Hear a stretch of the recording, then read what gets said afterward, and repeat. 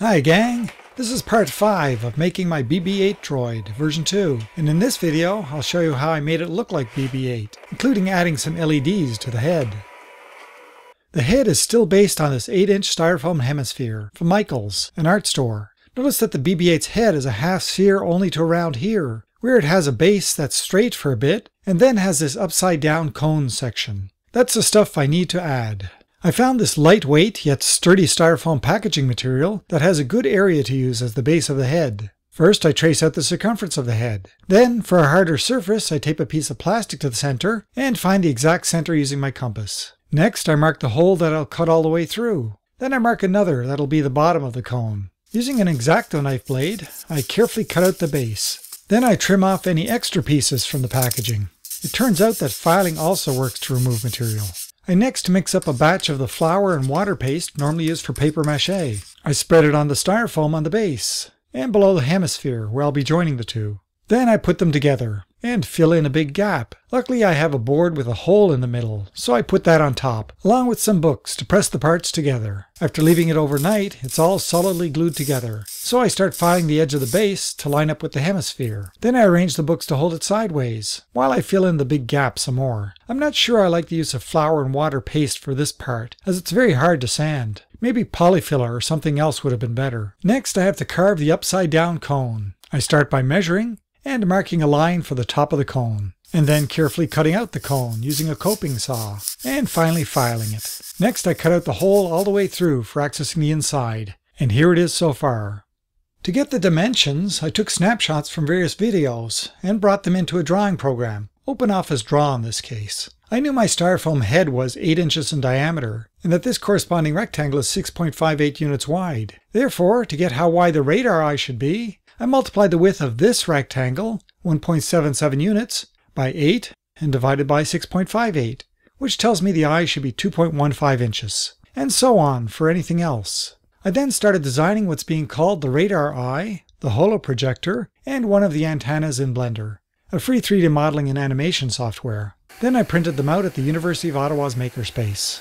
The files for doing this are also on my website on the page about detailing BB-8, the radar eye comes in two pieces. An LED will shine through a hole in this slot. There are actually six holes in the 3D model, but for some unknown reason the 3D printer filled them in, but left enough of an outline for me to be able to make pilot holes for drilling in their middles. But before going further I decide to work on the transparent cover. I found this screen cleaning thing at a dollar store, and the packaging is around the right size. So I remove a bit of the packaging, and trim it a tiny bit at a time, while trying to fit it. I find that the sides of this piece stick out too much, so I file them a bit. Eventually, after much trimming and trying, it finally snaps into place. Before painting, I roughen it using sandpaper. I then paint on a layer of gesso as a primer. While I'm at it, I 3D printed the small antenna as two parts, so I use superglue to glue the two PLA parts together. Then I paint that and the holoprojector part with gesso too. That's followed by this acrylic paint. It's silver but should probably be gray, but I use it anyway. I paint the outer part of the radar eye that color, and also the holoprojector. The inside of the holoprojector is painted black. Next I superglue the radar eye pieces together. After drilling two mounting holes, I put some lightweight nylon bolts from Home Depot. I make some matching holes in the head and test the fit. Using a file, I flatten where the radar eye will go. I've made some washers out of scrap plastic and used them and some nuts to bolt the radar eye in place. A little black paint makes the heads of the bolts invisible. For the holoprojector, I cut the head off another nylon bolt. I used some hot glue to hold that in place. With another hole and some carving in the styrofoam, I put it in place. And with another makeshift plastic washer and a nut, I bolt it on. To hold the antenna on, I found this plastic tube from a hobby store that it fits in snugly. I have another bolt that I've cut the head off of. It's a little too big for the tube, so I file it smaller. Using superglue, I glue the bolt into the tube. On the real promotional BB-8, the antenna goes here on the gray stripe. So using a vertical measurement from the bottom of the head, I verify I have a location above the radar eye. And then I mark the bottom of the stripe where the antenna will go. And then I mark the top of the stripe. Looking at the head straight on, I then guess where the antenna should go in the horizontal direction, just a little to the left of the top of the radar eye. Finally, I drill a hole straight down. I make a base for the antenna using some plastic. The hole needs to be longer than it is wide, since it'll be attached to the antenna at an angle. I glue the antenna to its base. To lower the base, I carve a place for it, until it's flush with the surface of the head. I also flatten out a place inside that's perpendicular to the bolt, and using another homemade washer and a nut, I bolt the antenna in place.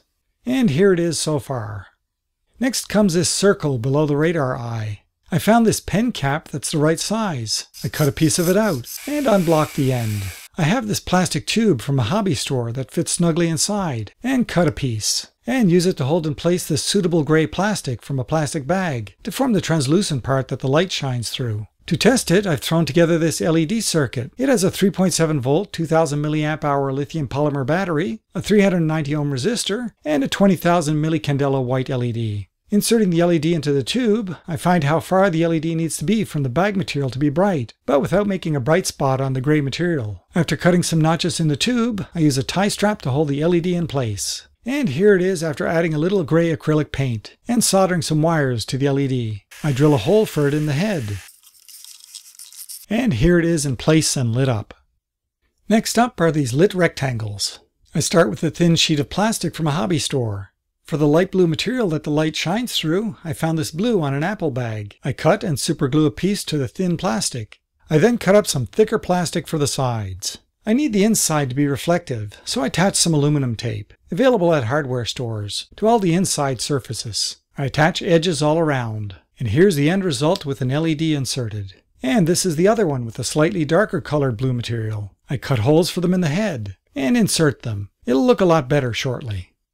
Only one light in the radar eye ever lights up in the actual BB-8, so I finally drilled that hole for the radar eye. I also drill some additional holes behind the radar eye, above and below the LED, and insert some short screws into them, but leaving some threads exposed. I don't have a bright red LED right now, so I use a marker to color this one red. I had tried various red packaging material, but the results weren't bright enough. After inserting the LED in the hole, I use a wire to hold it in place. Testing at various angles, it still looks white from the front, so coloring it doesn't really work. Of course I had to make a hole in the head for the new stuff behind the eye, and with some wires soldered to the LED. But here it is all back in place.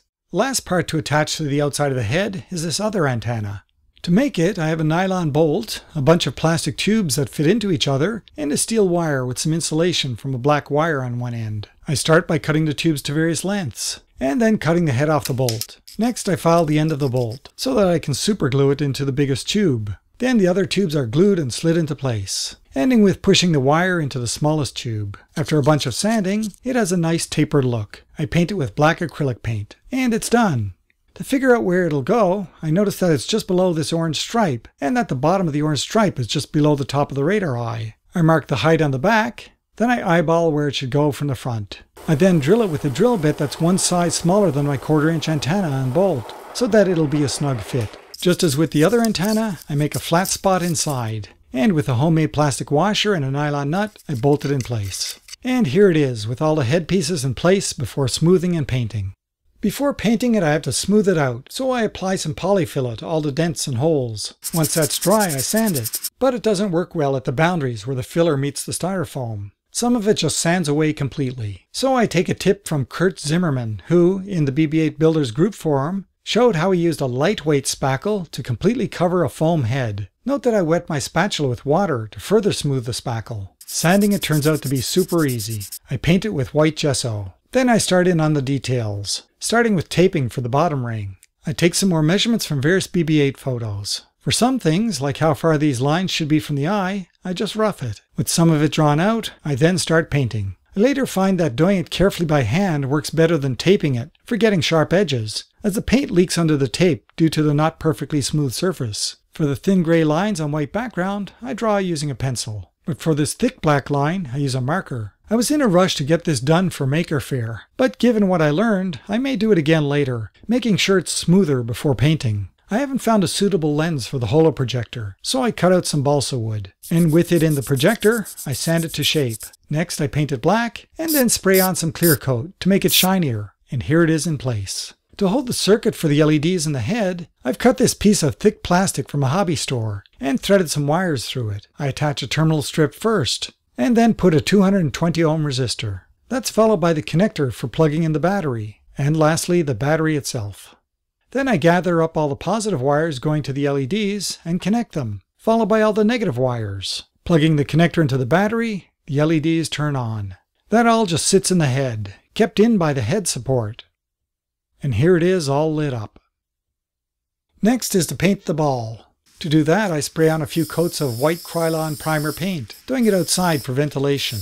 It takes a few days for all the coats, but then I reassemble the two hemispheres and find that they've deformed, just as my older cardboard ones did. So I put them in a frame for a few days, compressing them back into shape.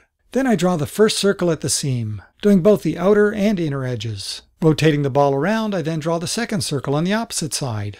I take a lot of care to find the poles of the ball. And then, with the help of some marks at the seam, I draw a longitudinal line all the way around.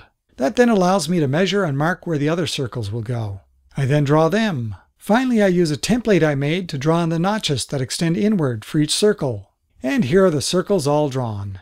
I paint them with an orange acrylic paint, found in a dollar store. The edges don't matter much, as they'll be drawn over later. I end up putting three coats. Next, I use a black colored pencil to draw the dark lines around the edges. I rub it with my finger to give it a weathered look. After that, I use templates from the BB-8 Builders group as guides for drawing the outlines for the details in the circles. And then I fill them in with a few coats of gray acrylic paint. And then adding all the other details. For some details, I actually scrape away paint. Next, I draw the lines between the circles, and then the rivets on either side of each line, as well as some rivets on the circles notches. Using another template, I draw the tabs outside the circles, and then finally all the miscellaneous details on the circles themselves. To further weather it, I mixed up various acrylic paints with a lot of water, and using a paper towel I sponge it on, mostly around the lines between the circles. Then I clean it up with a clean paper towel. The gray duct tape leaves a residue if it's on for too long, so I scrape it off. And lastly, to protect it all, I spray on several coats of Krylon clear paint. Time to put it in the ball. From a post in the BB-8 user group by another BB-8 builder named Corey Passion, sorry if I pronounce that wrong, I learned that this transparent duct tape works great. And here's the end result.